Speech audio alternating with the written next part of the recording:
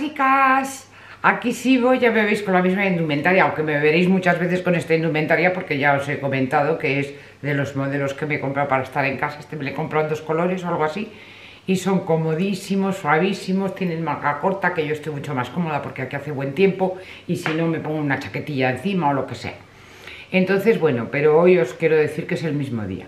Y ya que estaba y que estaba como en racha y que últimamente llevo como un poquito desganada, no porque no quiera haceros vídeos ni me quiera ir de vosotras, sino porque yo, propiamente yo, no he estado muy pintona, no... En fin, como que no tenía yo muchas ganas de hacer absolutamente nada.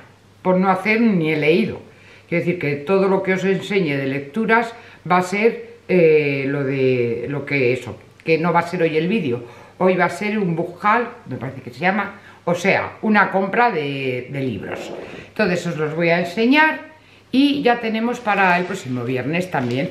He comprado bastantes libros y tengo y os tengo que enseñar la librería de pendientes.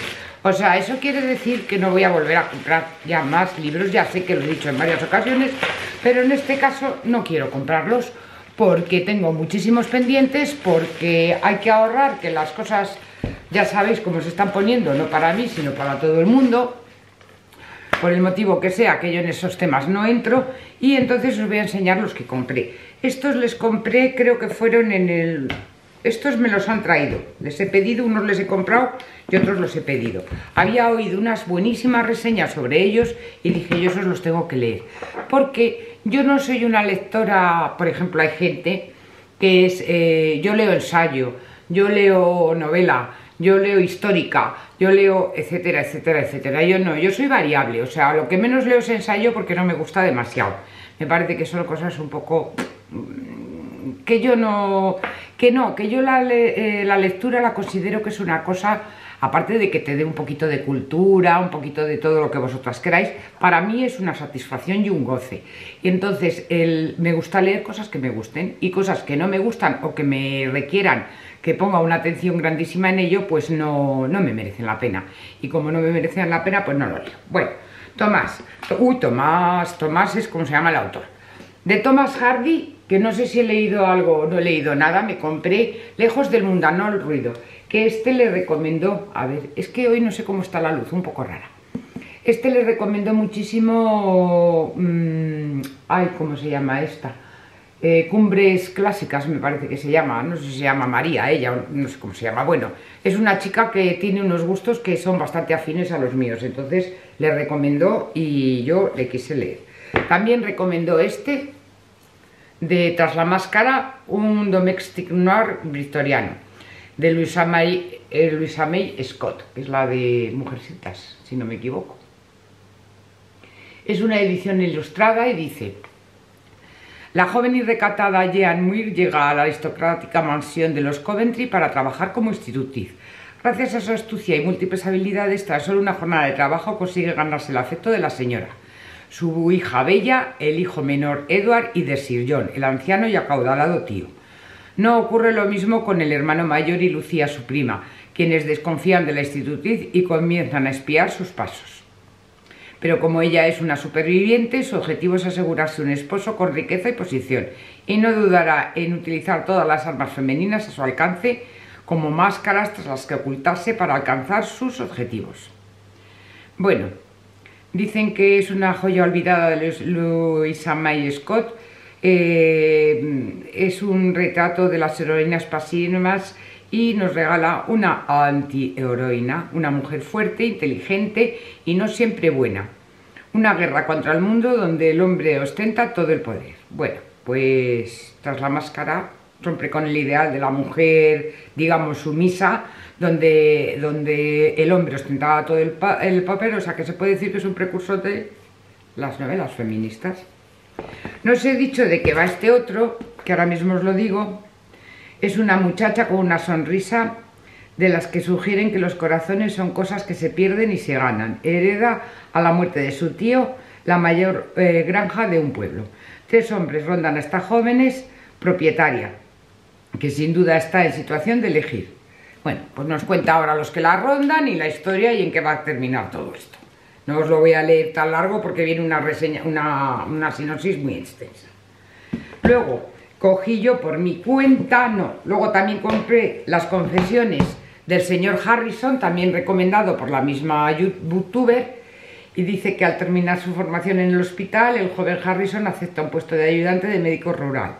Le eh, de un médico rural de la pequeña ciudad, yo no lo llamaría pueblo, de Ducombe. Le parecerá a usted un dato estadístico curioso, le dice el mentor al llegar, pero cinco de seis cabezas de familia de cierto rango en, Ducombe son mujeres.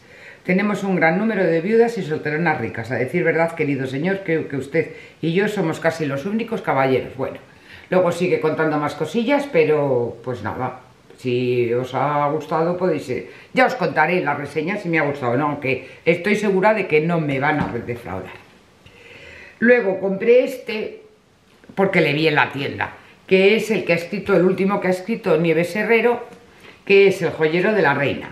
Y entonces dice que son fieles guardadas, no dice que las joyas no solo son fieles guardianas del paso del tiempo, sino que también eh, ocultan grandes secretos de amor y desamor de quienes las han llevado. En estas páginas se da una visión diferente y original de Virginia de Battenberg, de Victoria, de Victoria Eugenia de Battenberg, la última reina española antes de la Segunda República. Y nos va contando pues sobre el joyero de la reina, pues cosas. Me pareció súper interesante. A mí estos libros me gustan muchísimo. Luego, otro día que estuve en Salamanca con José, compré en la, en la librería de La Latina de Beatriz Galindo, que es muy recomendada siempre esta librería por Raquel de APCA de Raquel, a la que os guste leer, os la recomiendo muchísimo también. Y compré dos que no había oído hablar nunca de ellas, porque bueno, dije, bueno, estoy en Salamanca, voy a ir a esta librería, digo, ya a ver qué me recomienda la, la dueña. Y me recomendó la Biblioteca de París, de Janet Slade Charles y Anhelo de Raíces. Y os cuento, Baluarte del acontecimiento y sinónimo de la libertad de ideas, desde su, fundación hace un siglo, la Biblioteca Americana de París se convirtió en una de las escasas ventanas abiertas a la cultura durante la operación alemana en la Segunda Guerra Mundial. Gracias a la heroica labor de las personas que allí trabajaron, la prestigiosa institución nunca llegó a cerrar sus puertas y sus fondos siguieron circulando pese a las prohibiciones de los jefes nazis. Veréis cambios de luz porque entra y sale el sol.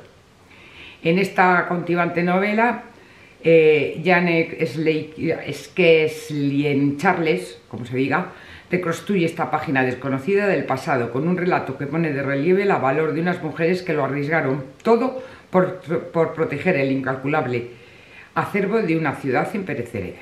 Bueno, y luego te cuenta que Odile Schubert acaba de hacer realidad su sueño, por fin ha conseguido el empleo que tanto ansiaba en la biblioteca, un lugar frecuentado antaño por grandes escritorios en, cuyas salas se preserva una de las mayores colecciones de literatura universal. Pero la guerra lo cambia todo. Y de esto va.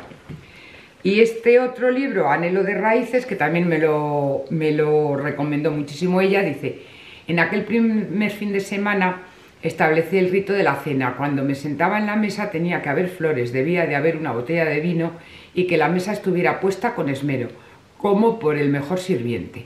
Un libro abierto para poder leer, el equivalente a la conversación civilizada para un solitario. Todo estaba preparado como para recibir a un invitado y el invitado de la casa iba a ser yo. Pues este me recomendó muchísimo, me dijo que era un libro delicioso, así con estas palabras, y ya os contaré qué tal me va. Y por último tengo aquí otros cuatro o cinco libros, ya os digo que con esto ya tengo para media vida. También son libros muy recomendados. Eh, mira, les voy a sacar todos porque si no voy a estar haciendo ruido para arriba y para abajo y eso pues no me apetece nada. Son eh, recomendados también, me lo recomendó un... no sé si fue en Salamanca este, o dónde fue, bueno, me da lo mismo y este es, el primero de todos ellos es Los Europeos, que dice, es una impresionante, impresionante, tan divertido como sabio. Su maravillosa descripción de la creación de Europa tiene hoy una cualidad casi utópica. Fíjese sobresaliente, nos acerca tanto a la historia remota que sentimos sus latidos. Los europeos es la historia apasionante del nacimiento de la cultura compartida de nuestro continente en el siglo XIX, contada a través de un maravilloso y extraño triángulo amoroso formado por el gran escritor ruso Iván Turgenev, Pauline Viardot, de origen español, una de las cantantes de ópera más famosas del mundo, y su marido Luis Viardot, hispanista francés y gran experto en arte. Estos tres apasionados y ambiciosos estuvieron en el centro del intercambio artístico europeo cerca de figuras como Delacroix, Berlioz, Chopin, Les, Schumann, Hugo, Víctor Hugo, Dickens, Flaubert y Dostoyevsky, que se abrían paso a través de una cultura próspera y genuinamente cosmopolita. Pues bueno, veremos, es un buen tocho, la verdad, pero me apetecía mucho. Luego había escuchado que habían sacado otro libro de, las, de cosas de, curiosas de Madrid. Y este es Crónicas. Crónicas del Madrid secreto que son pues hechos que no son tan conocidos como mm, algunas anécdotas que se conocen. De por qué Cibeles, una grandiosa pagana de origen tracio, acabó convirtiéndose, en una figura emblemática de Madrid. ¿Cuál es la conexión entre el gran Leonardo da Vinci y esta ciudad? ¿Qué importancia tuvo la capital española en la legada del hombre a la luna? Pues todas estas cositas nos las resuelven aquí. Luego también tenía ganas de leer a Agatha, MC mm, Beaton, que ha hecho una serie de novelas tipo Agatha Christie y se llama Agatha Rising y La Quiche Letal. Este es el primero de los que ha escrito, me parece que ha escrito dos o tres, o dos seguros que están en la calle y otro está a punto de llegar y bueno, pues voy a leer el primero a ver qué me parece. Pues este un poco más de entretenimiento y cuando no quiera yo leer cosas tan espesas. Y luego, por último, tengo este que también mm, fue muy recomendado, que es La Casa Eterna. Este me recomendó el mismo de la librería, que es sobre la saga de la Revolución Rusa. Proyectada por el visionario arquitecto Boris Lofane, inaugurada en 1931, la Casa del Gobierno es un colosal edificio de más de 500 apartamentos que se alza a la orilla del río Moscova, delante del Kremlin, destinado en origen a alojar a los principales dirigentes e intelectuales soviéticos y a sus familias. Yuri Slezkine rastrea la historia de los devotos ideólogos de la causa bolchevique que gobernaron la URSS y terminaron convirtiéndose en víctimas de las purgas estalinistas. Pues bueno, un poco de la historia rusa, bien ilustrado, es otro buen tocho y bueno, pues hasta aquí os puedo enseñar todos los libros que he comprado y pro hasta que no tenga leídos más de la mitad. Bueno, de hecho ya os he dicho que no, tengo muchísimos que me apetece mucho leer, pero vamos, parece que ahora me ha dado por comprar los libros y no, y no los leo, ya os digo, llevo una semana sin leer por lo menos. Y mira, ya que estoy os voy a enseñar que tengo una gran ilusión de hacer eh, el árbol genealógico de mi familia. Entonces me puse en contacto con una persona que tenía y de uno de mis apellidos tengo aquí todo lo que ella había conseguido, que es mucha parte de mi primer apellido López. Entonces, bueno, me compré el mismo día que fui a visitarla, compré un disco duro para traerme toda la información. Una tontería, pero os lo cuento.